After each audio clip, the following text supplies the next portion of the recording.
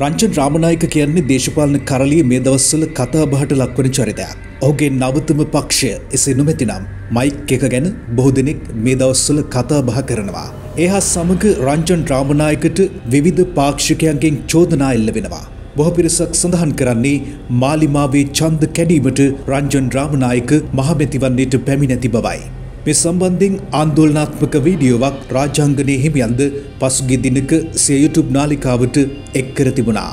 එමෙන්ම ජනප්‍රිය YouTube කරුවෙක් වන ටෝක් විත් ලාල්ද රංජන්ට බැනවදිමින් සිය සමාජ මාධ්‍ය ඔස්සේ පළ කිරීමක් සිදු කර ඇති අයුරු අපට නිරීක්ෂණය වුණා. එවන් තත්ත්වයක් තුළ රංජන්ගේ පක්ෂයේ හිමිකාරිත්වය දරන්නේ ස්වර්ණවාහිනී මාධ්‍යජාලයේ අයිතිකරු වන අල්ලිරාජා සුභාෂ්කරන් බවටද පසුගිය දිනක විවිධ මාධ්‍ය වාර්තා කර තිබුණා. එවන් තත්ත්වයක් තුළ රංජන්ගේ මෙම දේශපාලන ආගමනය සම්බන්ධයෙන් දර්ශන හඳුන්ගොඩ අදහස් පළ කිරීමක් සිදු කර තිබුණා.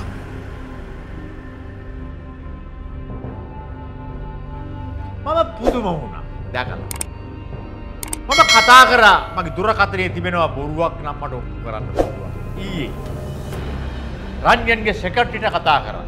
කතා කරලා කිව්වා සම්මුඛ සාකච්ඡාවක් අවශ්‍යයි. මේ වනතුරු පිළිතුරු නැහැ. කමන්නේ. දැන් බිසි. එහෙම තමයි. මැතිවරණවල. නාම යෝජනා දුන්නාම හා දෙන්න ලෑස්ති වෙනකොට එහෙම බිසියක් තියෙනවා. අපි සාධාරණව ඒක පිළිගන්න හා බාර ගන්න සූදානම්. වැදගත් ප්‍රශ්නය අපි ආන්නේ මේකයි. මේ යුනයිටඩ් කොංග්‍රස් පාටියකෙන් නොහොත් වර්තමානයේ නම වෙනස් කොට තිබෙන එක්සත් ප්‍රජාතන්ත්‍රවාදී හඬේ පළමුලියා පදිංචිය. කවුද ෆන් කළේ කවුද අරමුදල් සැපයුවේ කවුදේ පක්ෂය වෙනුවෙන් පෙනී හිටියේ ඒ පක්ෂය ඇත්තටම කාගෙද අන්න එක අපට වැටේ. අදටත් ඒ පක්ෂයේ අයිතිකරු හිමිකරු කවුද තතුදත් ආරංචි මාර්ග ප්‍රකාශ කරන්නේ ඔහු තමයි අලිරාජා සුභාකරන. අලිරාජා සුභාකරන් කිව්වහම දැන් මා වැන්නෙකුට මතක් වෙන පළවෙනි දේ තමයි ලයික මොබයිල්.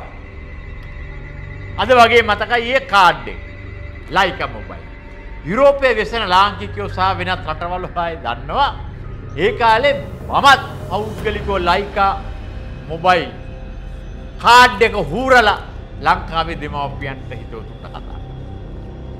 ටෙලිෆෝන් සෙන්ටර් වල පෝලිං වල වීදුරු කුඩු දාලා කතා කරපු යුගයේ දැන් එහි අවසන් වෙලා තියෙනවා. ඉතාලිය වගේ රටක් ගත්තොත් ඒ තැන්වල ලයිකා මොබයිල් මිටි පිටින් තියෙන්නේ කාඩ්. මිටි පිටි. ඊට පස්සේ මේ ලයිකා හිමිකරු තමයි අලිරාජා සුභාකරන් කියලා කියන්නේ. අපි අහනවා අලිරාජා සුභාකරන් හෝ එහෙම නැත්තම් එම සමූහ ව්‍යාපාර සම්බන්ධව විවිධ මාධ්‍ය ආයතන සහ ව්‍යාපාරිකයින් අරබයා සිදු කොට තිබෙන මූල්‍ය අක්‍රමිකතා හා වංචා පිළිබඳව අපරාධ පරීක්ෂණ දෙපාර්තමේන්තුවේ පැමිණිලි නැද්ද? ශ්‍රී ලංකාව. තිබේය. ඇත. එපමණක්. නොව. එහෙනම් මොනවාද. එංගලන්තය ඇමරිකාව හා යුරෝපයේ රටවල් වල නඩු. මේ ලයිකා සම්බන්ධව එම නැත්තං අලිරාජා සුභාකරන සම්බන්ධව නඩු නැද්ද? ඒවත් මූල්‍ය වංචා හා දූෂණ ක්‍රියාවලිය අරභයා ඒ රටවල් වල පවා නඩු ඇත.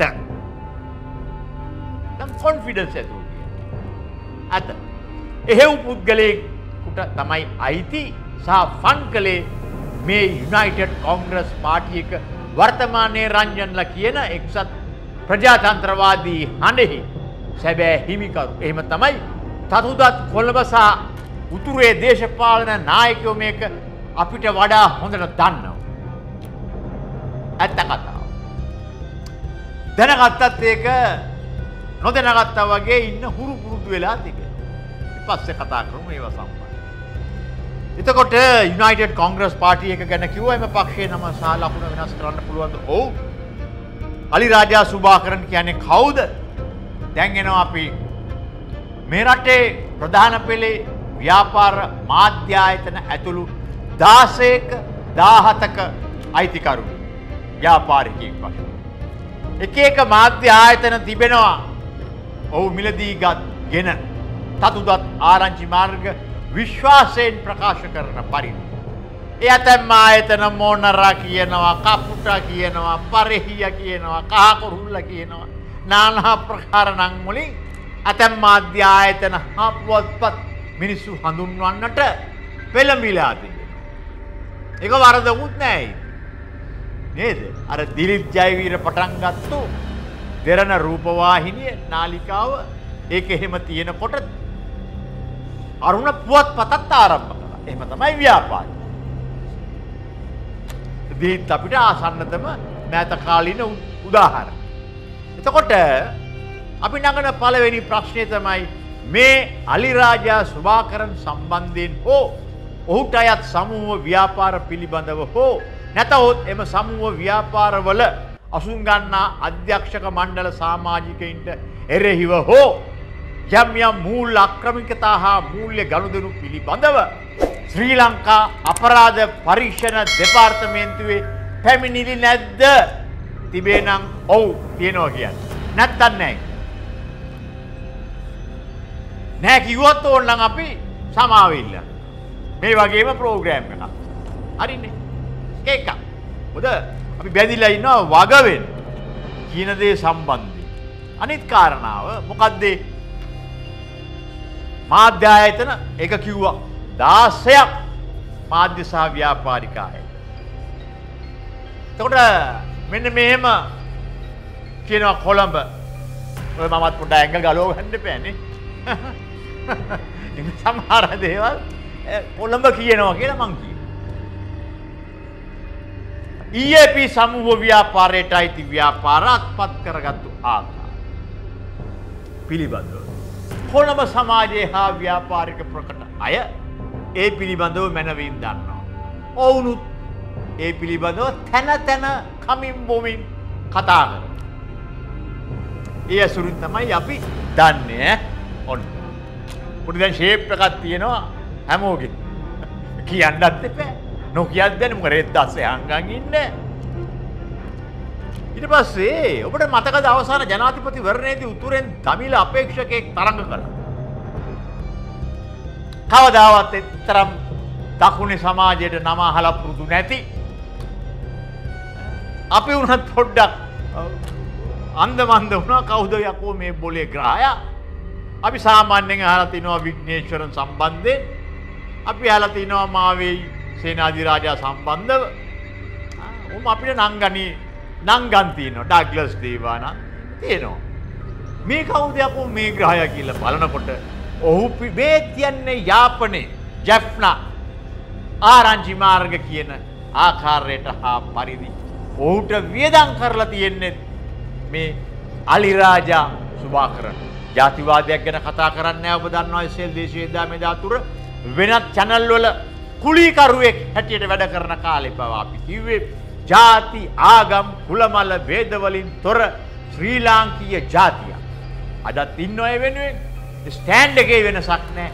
හෙටත් ඉන්නවා මැරණකම් ඉන්න. ජාතිවාදයක් නෙමෙයි. නමුත් මොකද්ද මේ සිදු වෙමින් පවතින්නේ? එකයි වැදගත්. ඒ තමයි රංජන් දැනුවත්ව හෝ නොදැනුවත් තිලකරත්න ඩිල්ෂාන් දැනුවත්ව හෝ නොදැනුවත් නාම යෝජනා අස්සම් කරලා එකොළොස් වෙනිදා දවල් 12ට පෙර බාර දෙයි. අද 10 පටිගත කරන්න. මම ප්‍රවෘත්තියක දැක්ක රංජන් නොමිනේෂන් දෙන්නේ ගම්පා දිස්ත්‍රික්කයට. ඒකට සියනෑ කෝරළේ ජනතාව මේ පිළිබඳව සබුද්ධිමත් වෙයි කියලා අපි විශ්වාස කරනවා. අපේ අදහසට අනුව රංජන් පව්. එකක් තියෙනවා ඕන ගොනෙකුට හිතෙන්න පුළුවන්. රංජන් ඒ තරම් ගොනේ. දන්නේ නැද්ද පාර්ලිමේන්තුවේ හිටියා. නියෝජ්‍ය ඇමතිවරයෙක් වශයෙන් උත් හිටියා. මේ පිළිබඳව එහෙම මුකුත් දන්නේ නැද්ද කියලා යමෙකු අහන්න පුළුවන්. ඒක අහන්න ඕනේ මගෙන් නොවේ. රංජන්. ඔබ දන්නවද නැද්ද? මගෙන් අහලා වැඩක් නැහැනේ. අඩු ගානේ මම දන්න ටිකට වඩා එහෙයින් ගිය දෙයක් රංජන් දැනගන්න එපේ. ශ්‍රී ලංකා පාර්ලිමේන්තුව නියෝජනය කරපු කෙනෙක් නියෝජ්‍ය අමාත්‍යවරයෙක් හැටියට රටේ ජනාදරයට පත් වූ සිනමා නළුවෙක් වශයෙන් හරි. ඒක රංජන්ගෙන් අහන්න.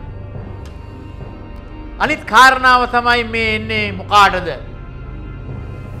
හැම දවසකම මේ අලිරාජා සුභාකරන්ලා වගේ අය ව්‍යාපාරික බලතල ව්‍යාපාරික ස්ථාන හා ඒ සමාගම් තමා සන්තකයට ගෙන ඊට පස්සේ දේශපාලන බලයට ඉවල්ලන ව්‍යාපාරක ව්‍යාපාරික අවශ්‍යතා මත ව්‍යාපාරික අවශ්‍යතා අපිට දැනෙන හා තේරෙන විදිහ ව්‍යාපාරික අවශ්‍යතා මත දේශපාලන බලය ඩැහැගැනීමේ ලබා ගැනීමේ කූට ප්‍රාප්තිය තමයි මේ අලිරාජා සුභා කරන්නල වගේ අය මේ රටට කරලද. එකත් මලක තියාගන්න. ඒ කාටවත් මේ දම්මික පෙරේර එහෙම නෑ. හරිද? එයා මාරයි ඒ කතා කියන්නෙන් එපා. දී ජයවිර පිස්සුද එහෙම නෑව. අද වුවමනා වෙලා තියෙන මොකක්ද එක අපි පැහැදිලි කරගන්නට ඕන. පාර්ලිමේන්තුව තුළ තමුන්ගේ ව්‍යාපාරික අවශ්‍යතා සපුරා ගැනීමට යම් අයව එහෙ යවලා දියවන්නාව තරණය කරනවා වෙනුවට තරණය කරවලා බලාපොරොත්තු වෙන්නේ කුමක්ද? ඒක තමයි භයානකම වැඩේ. භයානකම දේ ඒක තමයි. ඒකට මහා මුදල් සම්භාරයක හිමිකරුවෙක් රිමෝට් කොන්ට්‍රෝලර් එක අතට ගන්නයි මේ උත්සාහය. රිමෝට් කොන්ට්‍රෝලර් එක. ඈ මෙහෙම බටන් නොබලා තමුන්ට ඕන විදිහට ශ්‍රී ලංකා පාර්ලිමේන්තුව හසුරුව ගන්න පුළුවන් ආකාරයේ පාර්ලිමේන්තු සංයුතියකට තමයි මේ අරාඳින්නේ.